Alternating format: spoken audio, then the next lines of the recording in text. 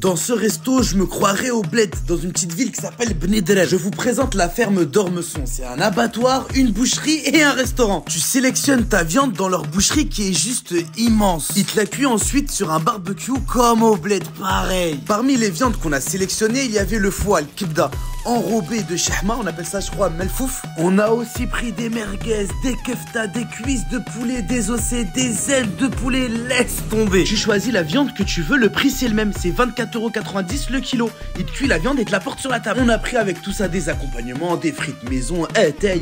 Petit mélange chelou avec poivron, tomate sur la brochette de poulet, j'ai croqué dedans, elle était tente, t'en as mal à la tête. Et pour être honnête avec vous, les anciens de ma famille, je sais pas où les emmener. Je sais qu'ils sont pas trop italiens, pas trop libanais, etc.